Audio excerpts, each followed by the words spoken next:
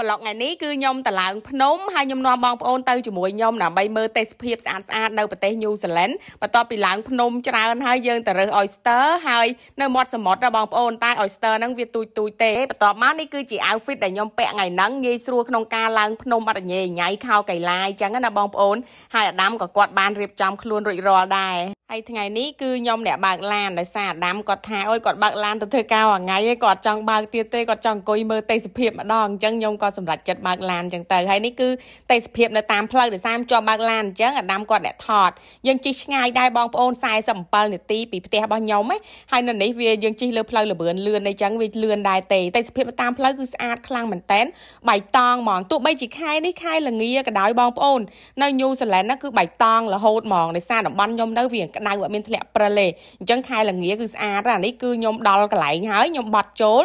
អឺចូលមកដល់គឺឡានច្រើនមែនតើខ្ញុំទៅកន្លែងដើរលេងទៅឡើងភ្នំរអដំសូវមានមនុស្សនៅកន្លែងនេះមនុស្សច្រើនខ្លាំងហើយបងប្អូនឃើញទួលភ្នំហ្នឹងឯងយើងនឹងឡើងភ្នំហ្នឹងឯងភ្នំហ្នឹងធំណាស់មើលពីលើទៅគឺលក្ខណៈជួជាប់ជាប់គ្នាហ្មងយើងឡើងពីមួយទៅមួយពីមួយទៅមួយរហូតហ្មង So stay bump on to knock me. Okay let's go Let's go. ខ្ញុំអាដាមគាត់ស្ពាយមកហូបបើស្ពាយយកតែផ្លែឈើមកហើយបងប្អូន ឥឡូវនេះមកដល់ហើយបងប្អូនតោះយើងតែស្ភាពស្អាតមែនតើយើងល្ងីទៅខ្ញុំពាក់អាវល្ងីនេះគឺគោ គោគេចិញ្ចឹមយកទឹកដោះតូរ៉ូនេះពួកខ្ញុំដើរយ៉ាងឆ្ងាយដែរដោយសារយើងចតឡាននៅឆ្ងាយខ្លាយរត់ជិះទៅមុខទៅអត់មានកន្លែងចតបាក់បកមកវិញអញ្ចឹងបងប្អូនអានេះគឺច្រកចូលហើយគេមានផែនទីនៅនឹងស្រាប់សម្រាប់ឲ្យយើងដើរចង់ដើរផ្លូវណាក៏បានដែរហើយបរទេសមកច្រើនណាហើយគេនាំកូនគេចេះឃើញឃើញពូនោះស្ពាយកូនហ្នឹងបរទេសគេចូលចិត្តនាំកូនកូនគេមកដើរលេងដើរឡើងភ្នំដើរអញ្ចឹងណាបងប្អូននៅញូហ្សេឡង់វាអត់ស្តេះហើយយើងជិះមកសុបាយខ្លាំងមែនតើហើយពួកខ្ញុំដើរផ្លូវមួយទៀតខ្ញុំឡើងភ្នំយកហ្មងអត់ដើរវៀងទេអានេះគឺច្រកចូលគេធ្វើលបងចឹងដើម្បីកុំឲ្យសัตว์ចាញ់អញ្ចឹងយើងបើកលបងចូលហើយពេលយើងចូលហើយយើងបិទលបងវិញអញ្ចឹងណាលបងគេតពុអេស្រួលហើយអាដាមគឺគាត់ពាក់មួកឡាបនខ្ញុំដឹងឲ្យគាត់ពាក់រហូតការពារស្បែកអញ្ចឹងណានេះគឺឡើងភ្នំអីហើយចង់ប្រាប់ថាកន្លែងហ្នឹងគេចិញ្ចឹមគោចិញ្ចឹមជៀមយើងឃើញហ្នឹងឯងហើយដើរសុទ្ធតែអាចគោអាចជៀមហ្មងមិនមែនស្រួលដើរដើរមើលតែអត់មើលជាប់អាចគោអាចជៀមហើយតែទៅបីជន់ក៏យើងអាចលាងសម្អាតបានដែរនៅជៀមជៀមវាទៅនៅម្ដុំវាឃើញយើងមនុស្សច្រើនអញ្ចឹងវាកិច្ចតែជៀមភាច្រើនវាខ្លាចមនុស្សអញ្ចឹងហើយពួកខ្ញុំអានេះកំពុងតែឡើងហើយនេះគឺភ្នំទី1ដែលយើងត្រូវឡើងហ្មងដល់ពេលឡើងទៅដល់លើហើយយើងឡើងភ្នំពីមួយទៅមួយទៀតវាអត់សូវខ្ពស់ខ្លាំងដែរនេះអានេះឡើងហត់ខានឡើងយូរខានឡើងភ្នំឡើងហត់ដែរហ្នឹងណានេះឡើងភ្នំទី1ហើយឯងត្រូវឡើងមួយទៀតនេះគាត់ទេហត់ចឹងគាត់ហើយនៅលើនេះទៅអាចគោ ហើយពួកខ្ញុំបន្តដំណើរឡើងទៅមកភ្នំមួយទៀតនេះគឺអាភ្នំទី2នឹងឯងតិចទៀតឡើងទៅដល់លើខ្ញុំថតទេសភាពនៅខាងលើឲ្យបងប្អូនមើលនេះខ្ញុំហៅថាខ្នងផ្សារដោយសារវាស្រៀងភ្នំខ្នងផ្សារស្រុកខ្មែរបងប្អូនមើលកាមេរ៉ាខ្ញុំប្រចាំងទៅឃើញទួលទួលទាំងអស់ហ្នឹងខ្ញុំដើរឡើងទាំងអស់ហ្មងជុំវិញនឹងហ្មងបងប្អូនធំណាស់ហើយតាំងពីម៉ោង12ដល់ម៉ោង3ឡើងរហូតហើយខ្ញុំចុះទៅលេងនៅសមុទ្រអីដែរអញ្ចឹងណានៅជុំវិញមិនត្រឹមតែមានភ្នំទេគឺមានសមុទ្រដែរទេសភាពពីខាងលើគឺស្អាតខ្លាំងមែនតែនហើយដោយសារដើមឈើអត់មានស្លឹកដោយសារខែល្ងាស្លឹកឈើវាជ្រុះអស់ចឹងណាបងប្អូនដើមខ្លះវាបៃតងរហូតគេហៅ evergreen ស្លឹកឈើវាអត់ចេះស្លឹកវាអត់ចេះជ្រុះហើយអាខ្លះវាជ្រុះចឹងណាវាដូរពណ៌តាមរដូវអីចឹងណានេះគឺយើងនៅទួលភ្នំហើយនៅជួរភ្នំហើយចឹងយើងនឹងដើរបន្តទៅទៀតពួកខ្ញុំនិយាយទៅដើរថតដើរលេងផងសបាយផងចឹងណាវាអត់ហត់ទេ ហើយយើងធ្វើដំណើរបន្តទៀតមកគឺយើងដើររហូតហ្មងពេញមួយរូបដែលបងប្អូនឃើញខ្ញុំថតនឹងហ្មងពួកខ្ញុំធ្វើដំណើរទៅរហូតអានេះចូលដល់ភ្នំទី3ឯងដែលខ្ញុំថតអាដាមគាត់ដើរនេះយើងឆ្លងកាត់ណាតមកឡើងទៅអាទី4ទៀតហីអឺគឺថាច្រើនខ្លាំងមែនតើឥឡូវទៅភ្នំមួយទៀតនិយាយទៅវីដេអូថតកាត់កាត់ច្រើនភ្នំច្រើនទួលអញ្ចឹងណាដោយសារយើងនៅលើគេជួរភ្នំណានៅលើជួរស្រាប់ទាំងវាអត់សូវហត់ទេឡើងផ្លែនផ្លែទេ ដោយបងប្អូនឃើញពីដើមអញ្ចឹងគឺខ្ញុំហើយណាអាដាមគឺពាក់មួកឡាបនដើម្បីការពារស្បែកការពារពលឺថ្ងៃជាប្រចាំហ្មងមួកយើងគឺធ្វើតេស្ត UPF 50បូកនៅអូស្ត្រាលីហើយក៏ជាប់តេស្ត UPF 50បូកដែរការពារស្បែកកុំឲ្យឡើងអាចរុយព្រោះសំខាន់ណា UVA UVB បំផ្លាញស្បែកយើងធ្វើឲ្យស្បែកយើងឆាប់ចាស់ហើយខ្ញុំសូមបង្ហាញពី skin care បន្តិចដោយសារបងប្អូនតែតែសួរខ្ញុំមកចេះបងមុខបាយលាបអីមុខបាយលាបអីចឹងខ្ញុំបង្ហាញទី1ខ្ញុំបាញ់ toner ទី2ខ្ញុំលាបសេរ៉ូមពណ៌ផ្កាឈូកនេះអានេះខ្ញុំទៅងើពីគេងបងប្អូនដែលភ្នែកខ្ញុំនៅហើមឡើយទេខ្ញុំឆ្លៀបប្រញាប់ប្រញាប់ថតផងប្រញាប់ផងដើម្បីទៅកុំឲ្យយឺតចឹងណាហើយសរោមការឈូកនេះជួយស្បែកយើងភ្លឺថ្លាមានសំណើមចឹងណាបន្ទាប់មកគឺខ្ញុំលាបអឺលេឡាបនលេឡាបនសម្រាប់ផ្ដល់សំណើមមែនតែមាន peptide សមត្ថភាពខ្ពស់មែនតែក្នុងការបន្តឹងស្បែកមុខឲ្យស្បែកមុខយើងតឹងណែនមានសុខភាពល្អ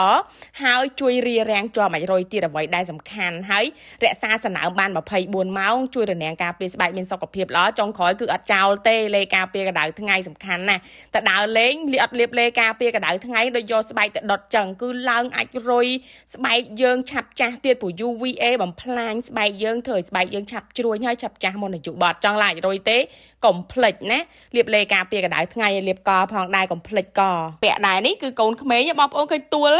មើលអារូបភ្នំឆ្ងាយជាងគេសសមានអាសសមានជាមណាឥឡូវខ្ញុំដើរមកដល់ហើយវីដេអូមិញគឺខ្ញុំនៅឆ្ងាយណាឥឡូវខ្ញុំដើរមកដល់កន្លែងជាមហ្នឹងហ្មងតែខ្ញុំអត់ទាន់បានឡើងទៅអាភ្នំដែលមានជាមទេខ្ញុំដើរមកមាត់សមុទ្រសិនអង្គុយមើលមាត់សមុទ្រហើយញ៉ាំអីសិនដោយសារអាដាមគាត់ថាគាត់ឃ្លានហើយពេលហ្នឹងគឺម៉ោង1ថ្ងៃអីហើយពួកយើងអង្គុយហាថ្ងៃញ៉ាំអីតែវាអត់ក្តៅទេដោយសារវាល្ងាណាទោះបីខ្ញុំអង្គុយហាថ្ងៃតែខ្ញុំពាក់មួកឡាបនគឺអត់អីទេហើយមិត្តភក្តិខ្ញុំគាត់ធ្វើ burger ឲ្យម្នាក់មួយងាយស្រួលដាក់តាមខ្លួនងាយស្រួលញ៉ាំអញ្ចឹងណាគាត់ថាគាត់ដឹងតែខ្ញុំហើយនៅអាដាមហ្នឹងងើមិនតាន់ទេគាត់គាត់ធ្វើឲ្យគាត់ធ្វើឲ្យម្នាក់មួយហ្មងទៅហើយពួកខ្ញុំក៏បានញ៉ាំហើយ burger ញ៉ាំធំមែនតើខ្ញុំញ៉ាំអត់ចង់អស់ហើយខ្ញុំញ៉ាំអស់តែមួយកណាត់ទេហើយយើងអង្គុយញ៉ាំមើលទេសភាពមើលអឺសមុទ្រណាហើយមើលភ្នំមើលវាលមើលអីគឺស្រស់ស្រាយខ្លាំងមែនតើបងប្អូន ហើយញ៉ាំមើលទេសភាពបែបហ្នឹង10ឆ្នាំមានប្រហែលដងយើងដើរមកឆ្ងាយមែនតើតាំងពីភ្នំនោះមកមកដល់កន្លែងជាមនេះ see the shit តិចទៀតយើងដើរចូលទៅក្នុងជាមនេះអត់ខ្លាចមនុស្សទេតោះ